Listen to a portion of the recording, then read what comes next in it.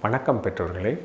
இன்றைக்கி குழந்தைகளுக்கு சிறுதானிய உணவு தரணும் அப்படின்னு நினச்சிட்டு பெற்றோர்கள் சிறுதானிய பிஸ்கட்டு சிறுதானியத்தில் செய்யக்கூடிய சிக்கி நூடுல்ஸு சாக்லேட்டு அப்படின்னு சிறுதானியத்தில் செஞ்சதுன்னு எது எது விளம்பரப்படுத்துகிறாங்களோ அதையெல்லாம் கொடுக்கலான்னு ஆசைப்பட்றாங்க. மத்திய அரசும் ஐநா சபையில் சொல்லி ரெண்டாயிரத்தி இருபத்தி மூணு உலக சிறுதானிய ஆண்டாக அறிவிச்சிருச்சு. பெரிய பெரிய நிறுவனங்கள் எல்லாம் மத்திய அரசு அவங்கள அழைச்சி உங்களுக்கு உதவி செய்கிறோம் மானியம் தர்றோம். பதினஞ்சு சதவீதம் சிறுதானியத்தை உங்களுடைய உணவுப் பொருள் தயாரிப்பில் பயன்படுத்தினீங்கன்னா இது கிடைக்கும் அப்படின்னு சொல்லியிருக்காங்க. இந்த மாதிரி ஓட்ஸில் செய்யக்கூடிய சிக்கி அல்லது குயினோவால் செய்யக்கூடிய பஃப்ட்டு இந்த மாதிரி விஷயங்கள் எல்லாம் நல்லதான் இல்லை இது வந்து வழக்கமாக நாம் சாப்பிட்ற பதப்படுத்தப்பட்ட நுண்பதப்படுத்தப்பட்ட பொருளை சார்ந்ததா அப்படிங்கிறது இன்றைக்கி பார்க்கலாம்.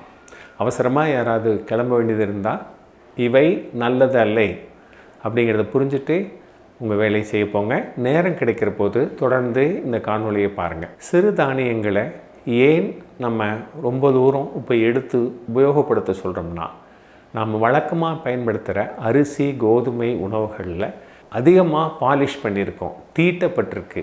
அதில் இருக்கிற தவிடு உமி எல்லாமே நீக்கப்பட்டு வெறும் வெள்ளை அரிசி மட்டும்தான் நம்மள்கிட்ட கிடைக்கும் அதனால தான் பாரம்பரிய அரிசி ரகங்களை எல்லாம் பயன்படுத்துங்க.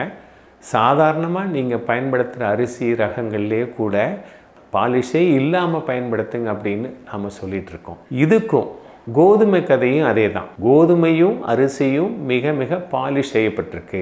கோதுமையில் மைதாவாக பிரித்தெடுக்கப்பட்ட அந்த மாவும் சத்துக்கள் எல்லாம் இழந்து அதிக சர்க்கரையை அதிகப்படுத்தும் தன்மையை கொண்டிருக்கிறது. அதனால தான் எல்லோரும் என்ன நினச்சாங்க?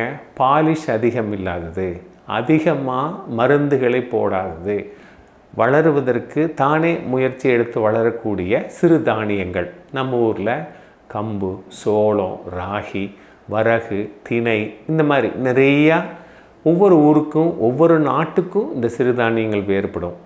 இவைகளை வளர்த்துவதற்கு அதிகமாக சிரமப்பட வேண்டியதில்லை அதிக தண்ணி வேண்டியதில்லை. புன்சை நிலத்தில் வளரக்கூடிய பயிர் அதனால் இதை பயன்படுத்துங்கன்னு சொன்னாங்க. இவைகளுக்கு அதிகமாக பாலிஷ் போடுறதில்லை.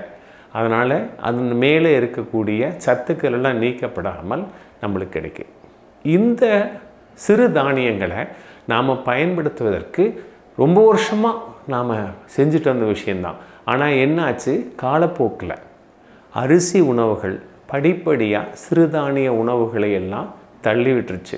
ஒரு காலத்தில் அரிசி உணவுங்கிறது ஒரு பண்டிகை நாளாகவும் வாரத்தில் ஒரு நாளாகவும் விசேஷத்துக்கான விருந்தாகவும் இருந்தது போக இன்றைக்கி எல்லா நாளும் அரிசி உணவு என்னைக்காவது ஒரு நாள் தான் சிறுதானிய உணவு ஆயிடுச்சு அதனால் என்ன பிரச்சனைனா சத்துக்கள் இல்லாத வைட்டமின் தாது பொருட்கள் இல்லாத வெறும் கார்போஹைட்ரேட்னு சொல்லக்கூடிய மாவுச்சத்துள்ள பொருளான அரிசியையும் கோதுமையும் மட்டும்தான் நாம் உணவாக உட்கொண்டு வர்றோம். இப்போது அரசே இதற்கு ஆதரவு தருது அப்படின்னு எல்லாரும் சிறுதானியத்தை நாங்கள் பயன்படுத்துகிறோம் அப்படின்னு சொல்லி கடைக்கு போனீங்கன்னா கடைகளில் சிறுதானிய பிஸ்கட் இருக்கும் சிறுதானிய மிட்டாய் இருக்கும் சிறுதானியத்தில் நூடுல்ஸ் இருக்கும் சிறுதானியத்தில் சேமியா இருக்கும். எல்லாமே வந்துருச்சு. பெரிய பெரிய கம்பெனிகள்.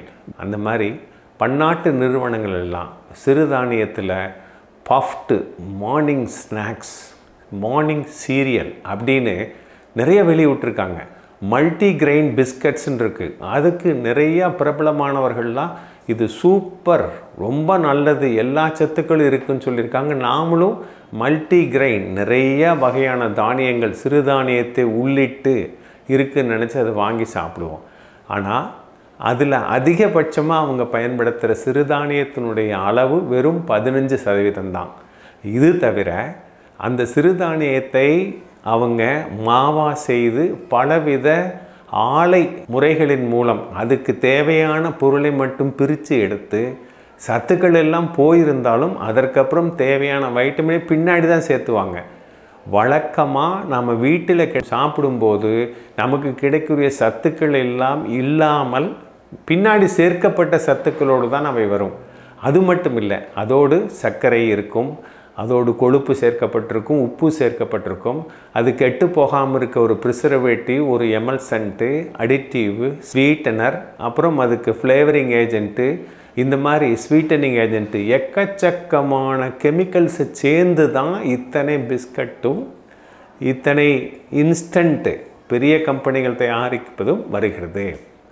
அப்போ என்னாகும்? இதற்கும் நாம் வேண்டான்னு உலகம் முழுசும் எல்லாரும் சொல்லிட்டு இருக்கிற நுண் பதப்படுத்தப்பட்ட பொருளுக்கும் வித்தியாசம் இல்லை அல்ட்ரா ப்ராசஸ்ட் ஃபுட் சரிங்க.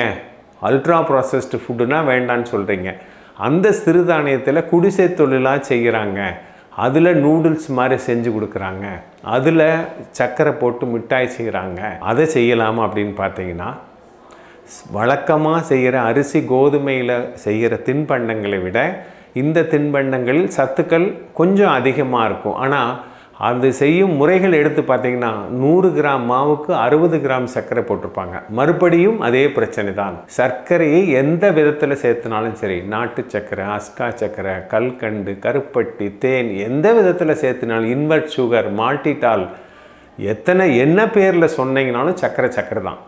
அதனால் இனிப்பாக எந்த உணவையும் சேர்த்தும் போது நமக்கு வழக்கமாக சாப்பிடக்கூடிய பெருங்கம்பெனிகளினுடைய பொருள்களினால் நம்மளுக்கு என்ன பிரச்சனை வருமோ அதுதான் இதுக்கு வருங்க. இந்த சிறுதானியம் பிஸ்கட்டோ சிறுதானிய சிக்கியோ சிறுதானிய சாக்லேட்டோ சிறுதானிய லட்டோ பெருசாக வித்தியாசம் கிடையாது. கூட ஒரு குறிப்பிட்ட சவு மட்டும் கொஞ்சம் சத்துக்கள் அதிகமாக இருக்கும். அதனுடைய முன் அட்டை சொன்னாலும் அதுலேயும் நிறைய பேர் சந்தேகப்படுறாங்க. இந்த பேக்கெட்டில் ஒட்டி இருக்காங்க பார்த்தீங்களா அதில் எல்லா விஷயங்களையும் சொல்ல வேணும் அப்படிங்கிறதுக்காக நிறைய பேர் போராடிட்டு வந்தாலும் அதில் என்ன சொல்லணும் அப்படிங்கிறதுக்காக அரசு ஒரு முக்கியமான முடிவை எடுக்காமலே இருக்குது இப்போதைக்கு என்ன சொல்லியிருக்காங்க? ஸ்டார் போட்டு கொடுங்க. ரொம்ப சத்து அதிகமாக இருக்கிறது நல்ல உணவுகள் கெடாத ப்ராசஸ்டு ஃபுட் இல்லைன்னா அஞ்சு ஸ்டாரில் ஆரம்பித்து அதிகமான பொருட்களை இந்த மாதிரி செயற்கையான பொருட்களை எல்லாம் பயன்படுத்துகிற உணவுகளுக்கு ஒரு ஸ்டார் கொடுங்கன்னு. இது வேண்டான்னு தான் குழந்தைகள் மருத்துவர்கள் உள்பட நிறைய சமூக ஆர்வலர்கள் போராடிட்டு வர்றாங்க. படிக்காத நம் மக்களுக்கு எண்பத்தஞ்சு சதவீதம் கிராமப்புறத்தில் இருப்பவர்களுக்கு ஒரு ஸ்டாருக்கு ரெண்டு ஸ்டாருக்கு வித்தியாசம் தெரியாது. நீங்கள் அஞ்சு ஸ்டார் இருக்கிற உணவை தான் சாப்பிடணும்னு நான் இருக்க போகிறதில்ல ஸ்டார் இருக்குல்ல சாப்பிட்டா போதும் பிரச்சனை இல்லைன்னு நினைப்பாங்க. அதனால் அரசு இந்த மாதிரி இந்த இந்த உணவில் அதிக உப்பு அதிக சர்க்கரை அதிக கொழுப்பு இருக்குங்கிறத பளிச்சுன்னு தெரிகிற மாதிரி ஒரு லேபிள் முன்னட்டையை வைக்கணும். வில்லையை ஒட்டி வைக்கணும் அப்படிங்கிறது தான் இந்த போராட்டம் நடந்துகிட்டே இருக்குது எப்போது முடிவு வரும்னு தெரியல. சிறுதானிய உணவுகளை நாம் வேறு எப்படி செய்யலாம் அப்படின்னா நிறையா வருடங்களாக நம்ம பாரம்பரியத்தில் நிறையா உணவுகள் இருக்குது இப்போது இப்போ சில இடங்களில் பயன்படுத்துகிறாங்க சிறுதானிய இட்லி சிறுதானிய தோசை சிறுதானிய புட்டு நிறையா பேர் செய்கிறாங்க. சில இடங்களில் சிறுதானிய பொங்கல் அது சுலபமாக எல்லா கடைகளிலும் கிடைக்க ஆரம்பிச்சிருக்கு. இந்த மாதிரி உணவுகளை நம்ம வழக்கமான உணவு முறையில் செய்கிற மாதிரியான உணவுகளை மட்டும் நம்ம சிறுதானியத்தில் பயன்படுத்தினோம்னா அதில் பாதிப்பு இருக்காது இருக்கும். வேறு என்ன செய்யலாம்? மக்களுக்கு இந்த சிறுதானியத்தை பற்றிய விழிப்புணர்வு நிறையா இருக்குது ஆனால் எல்லாரும் புரிஞ்சிக்க வேண்டிய விஷயம் அரிசியிலும் கோதுமையிலும் இருக்கிற அளவுக்கு தான் இதுலேயும் கார்போஹைட்ரேட் இருக்குது இதனுடைய கிளைசீமிக் இண்டெக்ஸும் ஓரளவு அதிகமான அளவில் தான் இருக்குது இதையும் குறிப்பிட்ட அளவு தான் சாப்பிட வேண்டும். மிக அதிகமாக இதையும் எடுத்துக்கொள்ளக்கூடாது. ஆனால் பாரம்பரியமாக நாம் பயன்படுத்துகிற உணவுகளில் பயன்படுத்தும் போது நம்முடைய உணவுக்கும் உடலுக்கும் ஒத்த உணவுகளாக இருக்கும். அதை விடுத்து கடைகளில் தயாராக உடனடியாக சாப்பிடும்படி இருக்கக்கூடிய காலை உணவாக இந்த சிறுதானியத்தை வைத்திருந்தாங்கன்னா தயவு செய்து அதற்கும் மற்ற பிரேக்ஃபாஸ்ட் சீரியல்னு சொல்லக்கூடிய காலை உணவுகளுக்கும் வித்தியாசம் எதுவுமே கிடையாதுங்க. பெற்றோர்களே சிறுதானியத்தை உணவில் பயன்படுத்தலாம் ஒருவேளை தினமும் பயன்படுத்தலாம். பாரம்பரிய உணவில் ஒரு வகையாக பயன்படுத்துங்கள். புட்டு இட்லி தோசை பொங்கல் உப்மா மாதிரி. இப்படி எந்த விதமாக வேணுமானாலும் செய்து நீங்கள் பயன்படுத்தலாம். உணவுடன் கீரை காய்கறிகள் பழங்களை எல்லாம் சேர்த்து குழந்தைகளுக்கு தருவது மிக நல்லது. இதை விடுத்து உடனடி தீர்வாக இவைகளை பயன்படுத்தும் போது நல்ல விஷயங்கள் நடப்பதை விட வழக்கமாக ஏற்படும் தீங்கு தான் இதிலும் ஏற்படும். ஏன்னா நாங்கள் சொன்ன மாதிரி அதிக உப்பு அதிக சர்க்கரை அதிக கொழுப்பு அதிக ரசாயன பொருட்கள் சேர்ந்த இந்த தயாரிப்புகளுக்கும் மற்ற வழக்கமான தயாரிப்புகளுக்கும் வித்தியாசம் இல்லை மீண்டும் ஒரு முறை இன்னும் ஒரு குழந்தைநல செய்தியோடு சந்திக்கிறேன். நன்றி வணக்கம்.